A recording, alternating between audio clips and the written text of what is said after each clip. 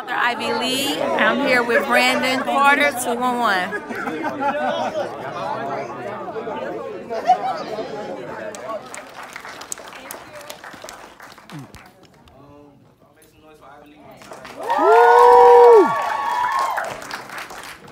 This is Brandon Carter, BrandonCarter211.com, and I'm at the private screening for Ivy Lee.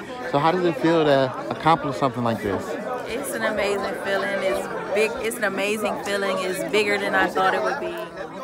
I didn't expect it to be like this, but it feels good. So, do you are you happy with the final outcome? Yeah, I'm excited. I'm happy. I'm, I'm very happy. I met some dope people tonight, so it was cool. What was the process for writing your first short film? Actually, it's a story I wrote, and it's from another story I wrote. So I just wanted to, you know, kind of get my feet wet in the film and directing and stuff like that, and acting a little bit. So I took a short story and I turned it into a script, and it made it into a short film. So. What do you want people to take when they see this movie? What do you want them to take from it? The actual, like the story. The story, line. like when they watch it, what do you want the audience to feel? I want them to feel um, empathy, and I want them to feel like it's relatable. Um, kind of be more bring awareness to people's actions and see how the pain it causes and the embarrassment it can cause somebody since we're in a social media filled world now. So what's next for you? Right now, we're working on another short film called Iniquitous. Iniquitous means grossly and morally wrong, wicked, so you can kind of imagine what's going to be going on in that film. Uh, we shoot that November 14th, and then right after that, we're going to do a feature film called Fun Girl. All right.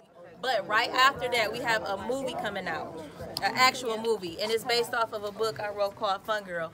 Who listens to Summer Walker? Me. Everybody. Okay, so the song Fun Girl, it was inspired by that, that song. So it's a whole crazy story. And I can't wait for y'all to see that. You pressed. When does the short film come out? The short one, we shoot it November 14th. Um, yeah, we, sh we shoot it next month. Logan is the um, director. Wrote it. All I gotta do is just show up now.